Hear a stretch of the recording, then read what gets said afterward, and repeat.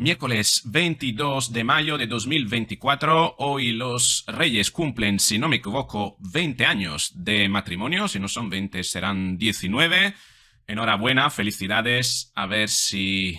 va a durar más ese matrimonio.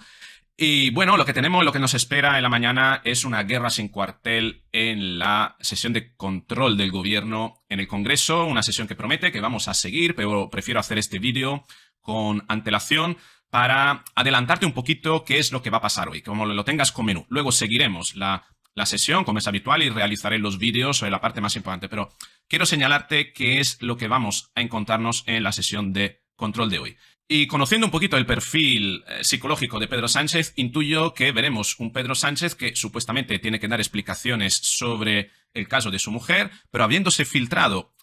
una interpretación del informe de la UCO por parte del periódico El País, periódico de régimen, em, ayer, bueno, eh, lo más probable que esa filtración sea, eh, como he escuchado decir a Carlos Herrera, una pista de aterrizaje para que hoy eh, aterrice Pedro Sánchez suavemente y no tenga que dar tantas explicaciones. Creo que, sin embargo, la estrategia será diferente. Más que una pista de aterrizaje, será una pista de despegue para que Pedro Sánchez vaya al ataque, pille por sorpresa al PP y al Vox, a la oposición, que se espera unas explicaciones, y conociendo el perfil de Pedro Sánchez, en lugar de obtener unas explicaciones, obtendrán unas acusaciones. Sí, porque creo que, en el fondo, Pedro Sánchez utilizará el victimismo, utilizará ese, esa filtración de, em, en fin, una interpretación de ese informe para eh, hacerse la víctima, decir que, como veis, no hay nada, y todo esto es la ultraderecha que tiene el control de la información de medios de supuesta información, pseudomedios, y los atacará, atacará para eh, decir que todo esto es culpa de la ultraderecha, tengo aquí una chuleta, y que esa ultraderecha reaccionaria está deslegitimada, y bueno, eh, hay que hacer algo en contra de ello. No avanzará, yo creo, propuestas, ¿eh? pero sí que lo aprovechará para señalar, para acusar concretamente a los bulos, al fango, a la ultraderecha, a los fascistas, etcétera, etcétera, y pondrá a colación el ejemplo de Milley, que ha ido a insultar a los españoles, etcétera, etcétera. En fin, esa será la estrategia, además de eh, un tercer punto de su estrategia será la de tratar de enfrentar a eh, PP y Vox, em, diciéndole al PP si va a seguir eh, pactando con Vox en eh, las próximas elecciones, si se va a llevar de la mano de la ultraderecha, porque lo que quiere es enfrentar PP y Vox, porque el que ahora está en crisis y que no tiene realmente unas grandes opciones electorales es el PP, que se ha quedado eh, a modo de... entre una pinza, por así decirlo, en una pinza entre el PSOE y Vox, puesto que el, el PSOE defiende la Agenda 2030, Vox va en contra de la Agenda 2030, el PP está en territorio de nadie, si dice que mm, también en las europeas defiende la Agenda 2030, al final se eh, camufla, se mimetiza, se, se convierte en un PSOE azul, cosa que en el fondo es, y esto lo va a querer aprovechar Pedro Sánchez para señalarles, para eh, asociarles a la ultraderecha. Esa será la estrategia de Pedro Sánchez, por tanto, una estrategia al ataque. Y yo creo que si son listos por parte de la oposición, lo que deberían hacer es primero no entrar a este juego, no entrar en... Em, más que disculparse, en buscar argumentos a esas acusaciones, a contestar esas acusaciones. Eh, tiene que usar las mismas estrategias que se usan con los psicópatas narcisistas. Al fondo, eh, si empatizas con ellos, te comen, ¿no? Tienes que hacerle espejo. Hacerle espejo significa utilizar sus mismas estrategias, es decir, ir al ataque, a un ataque mucho más incisivo, un ataque basado en datos, em, ir al, en parte al victimismo también em, y también al separar. ¿Cómo lo pueden hacer el PP y Vox si son listos en ese sentido? Ir al ataque significa em, acusar a Pedro Sánchez de varias cosas. Primero, de haber creado una crisis artificial con respecto a Argentina, crisis que va a perjudicar básicamente en ese arrastre a, los españoles, a los intereses españoles en Argentina, y cosas que no ha hecho ni retirando el embajador de Rusia ante el ataque de Putin a, Ucrania, ni en Israel ante ese supuesto genocidio que sus socios de gobierno le han, eh, varias ocasiones, le han señalado y que a él le ha impulsado a dar una gira para reconocer el Estado palestino. Eh, deben de actuar allí señalando como es un gesto solo egoísta, es un gesto que no atiende a los intereses de los españoles, ¿no? Y sobre todo también atacando con respecto a, ese, a esa filtración de la UCO de ese supuesto informe de la UCO del que tiene acceso solamente el país. Es más, nadie lo ha visto. El, país no lo ha publicado, simplemente ha publicado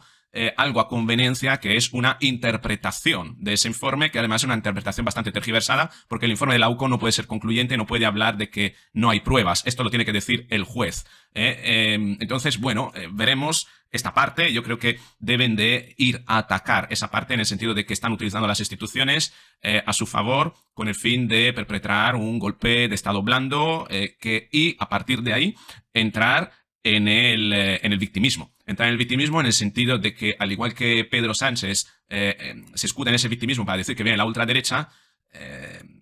PP y Vox deben de iniciar a alertar a los españoles de que viene un golpe de Estado, al igual que el que trataron de realizar en Argentina, al igual de que el que tuvo éxito en Venezuela, y alertar a la, eh, a la ciudadanía sobre el hecho de que vienen los totalitarios que eh, solo están utilizando el victimismo para eh, querer cerrar medios, están utilizando las instituciones para filtrar información que solo disponen ellos y a partir de ahí, y sobre todo el hecho de que están perjudicando con esta acción a los españoles, porque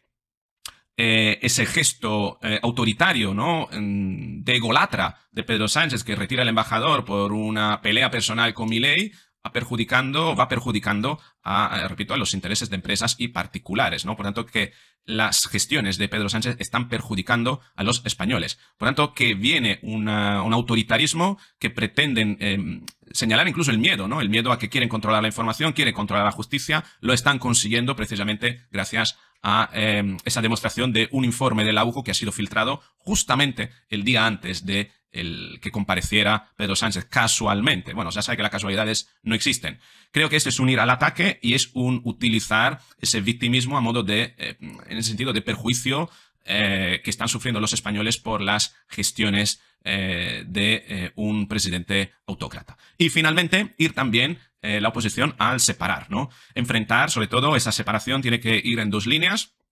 Una señalando a, teniendo como foco a, otra persona del gobierno que no sea, que no sea em, que no sea Pedro Sánchez, alguien que no se espera a nadie, posiblemente Marlasca, aprovechando esto del informe de la UCO, y tratando de que la gran mayoría del tiempo que se hable en el Congreso em, se hable de Marlasca, ¿no? Con el fin de que Pedro Sánchez quede como, em, no digo menospreciado, pero al final esto es como el fútbol. Eh, si tú tienes posesión del balón durante más tiempo, impides a que tu adversario te meta un gol, ¿no? Entonces, en ese sentido, tiene que jugar a esto la oposición si quiere, y sobre todo tiene que jugar a eso en el punto débil, en el eslabón débil de la cadena de Pedro Sánchez, que a día de hoy puede ser Marlasca por esa filtración de la UCO, puesto que no se debería haber filtrado ese informe, ya que estamos ante un, eh, em, eh, una causa, ¿no? Que tiene, eh, tiene secreto de sumario, ¿no? Entonces, yo creo que tienen que ir ahí, hacerle daño a, otra persona, eventualmente que haya más tiempo eh, ocupando la sesión eh, digamos, las acusaciones a Marlasca más que la Sánchez, con el fin de que lo de Sánchez quede como en segundo plano. Esa podría ser la estrategia y además el se separe y vencerá, además de ir dirigido a Marlasca, debe de ir dirigido, también posiblemente vaya dirigido al partido de Sumar, tratando de enfrentar Sumar al PSOE, tal como lo hace Pedro Sánchez entre el, el PP y Vox, ¿no? Hay que considerar que ayer eh, Sumar votó en contra del propio gobierno, es decir, una, eh, un partido que tiene un acuerdo de gobierno firmado vota en contra de una ley que propone el mismo gobierno, pues una incoherencia, una absurdez total en el sentido, y la ley era la ley sobre la prostitución. Y todo apunta a que mañana también eh, votarán en contra de otra ley, un decreto ley. entonces, bueno, todo esto al final yo creo que debe servir para que eh, la oposición señale a un gobierno de paripé, a un gobierno que está ahí simplemente atornillado al poder, nunca mejor dicho utilizando la palabra de mi ley, em, atornillado al poder tanto que eh, no están gobernando, tanto que se anulan ellos mismos las, las propias leyes que hacen, están haciendo perder tiempo y dinero a los españoles, em, usurpando poderes públicos, cargos públicos, eh, sin realmente, teniendo básicamente una dejadez de funciones, ¿no? Pues imagínate un gobierno que tiene una alianza, que diseña una ley y que luego sale y parte del gobierno la vota en contra, quiero decir, es, se están autodeslegitimando ello, ¿no? Enfrentar en ese sentido a eh, Sumar y PSOE em, de acuerdo con una estrategia, eh, la estrategia claramente de separe vencerás, hacerle espejo, pero sobre todo también señalando una cuestión, y es, eh, y es importante. ¿Por qué Sumar lo está haciendo ahora? Esto, ¿por qué está votando en contra del PSOE? Porque Sumar se ha dado cuenta de que en la medida en la que hace un acuerdo de gobierno con el PSOE, em, se camufla con el PSOE, acaba siendo absorbido por el PSOE. Y como hay unas elecciones y el PSOE podría fagocitar a Sumar y a Podemos, aglutinando todo el voto debido precisamente a, ese acuerdo, porque al final la gente dice, bueno, por votar a Sumar, voto al PSOE porque votan lo mismo, son lo mismo, entonces, Sumar ahora lo que está haciendo es tratar de hacerle un poquito la contraria con fines electorales. Yo creo que si eh, son listos entre el PP y Vox, deberían señalar todos esos intereses, entre ellos que no dejan de mostrar una, una diatriba entera, una guerra intestina dentro de la coalición de gobierno que lo único que hace es daño a los españoles. Esta podría ser la, eh, la estrategia de Pedro Sánchez y esta podría ser la estrategia de espejo del PP, basada básicamente en un ataque en eh, un eh, victimismo en el sentido del perjuicio que estamos sufriendo todos en España debido a esas políticas que son unas políticas básicamente basadas en las necesidades puramente, espuriamente personales, y luego el separar y vencerás en la coalición del gobierno, tratar de enfrentar, sumar y, em, y PSOE. Vamos a ver si lo hacen así o vamos a ver si son tan pagafantas que entran al juego de Pedro Sánchez, le siguen la ola y al final, pues quien va a salir de esto vaya a ser precisamente el presidente del gobierno. Cosa que en muchas ocasiones ha sucedido. ¿Por qué? Porque PP y Vox son incapaces de leer las cuestiones psicológicas. Eh, es una pena que no, sé, no tienen a lo mejor asesores eh, psicólogos, sociólogos, creen, a lo mejor son negacionistas en ese sentido, pero precisamente eh, esto es, lo que yo te estoy contando, es la mera demostración de que mientras sigan negacionistas en este caso, si es que lo son, pues seguirán perdiendo contra alguien que sabe utilizar esto. Y Milei lo ha dicho, hay que dar la batalla cultural todos los días y dando la batalla cultural no puede quedarte solo con la economía, no puede quedarte solo con cuestiones concretas, debe entrar también en, eh, en otros aspectos y utilizar la psicología, la sociología y más armas. Veremos qué es lo que va a pasar. De momento cerramos aquí, publico este vídeo y entramos en la sesión de control del gobierno. Venga, si te ha gustado el vídeo dale a like, si crees que puede interesar a otras personas que lo compartas, si no estás suscrito, suscríbete al canal, suscríbete, activa la campanita y así recibirás el aviso en el momento en el que publique otro vídeo. Con esto es todo, un beso, hasta luego.